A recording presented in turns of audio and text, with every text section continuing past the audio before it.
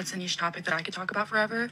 Personality changes to people who get organs donated to them. I'm obsessed with it. I've done extensive research. This shit is crazy. Because you know, when you get an organ, you have to take DNA blockers. So you're rejecting your DNA while another DNA is being introduced to your body. It's more about stopping your immune system activating and destroying the new organ rather than blocking your DNA. So, what could cause personality changes in transplant recipients? This isn't some fringe experience either, as one albeit small study found that even when they adjusted for physical attributes, 89% of transplant recipients actually had some personality change after the surgery. It includes changes in emotions, interests, personal identity, and even sexual preferences. There are multiple theories as to why this might happen, including psychological explanations that revolve around somebody no longer feeling like they are themselves after receiving a whole part of somebody else's body. Physical explanations like DNA has its own memory that's transferred with the organ, or that memories are contained within the organ's own nervous system that are also transferred, as we know that things like the heart brain also exist. What does your heart say about this?